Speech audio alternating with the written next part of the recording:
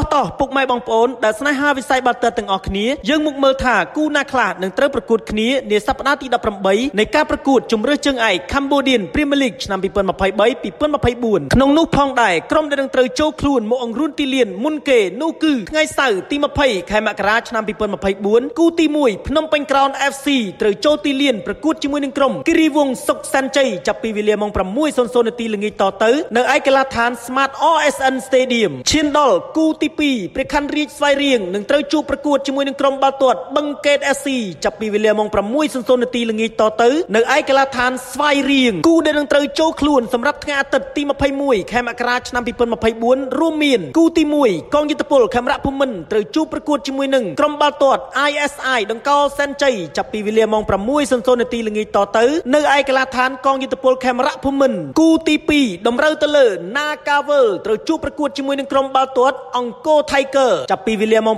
6:00នាទីល្ងាចតទៅនៅឯកីឡដ្ឋានកំពង់ស្ពឺឈានមកដល់គូទី3នៅក្នុងថ្ងៃអាទិត្យតម្រូវទៅលើក្រុមវិសាខា FC ត្រូវចូលខ្លួនមកប្រកួតជាមួយនឹងព្រៃវែង FC ចាប់ពីវេលាម៉ោង6:00នាទីល្ងាចតទៅនៅឯកីឡដ្ឋាន Prince Stadium ចង់ដឹងលទ្ធផលនឹងខ្លាយទៅជាយ៉ាងណាសូមកុំភ្លេចចូលរួមគ្រប់គ្រងក្លឹបបាល់ទាត់លីកកំពូលកម្ពុជាយើងទាំងអស់គ្នាឲ្យបានច្រើនកកកបញ្ជារាល់ការប្រកួតទាំងអស់នឹងមានការផ្សាយផ្ទាល់តាមរយៈ Facebook Page របស់ BTV News សូមអរគុណ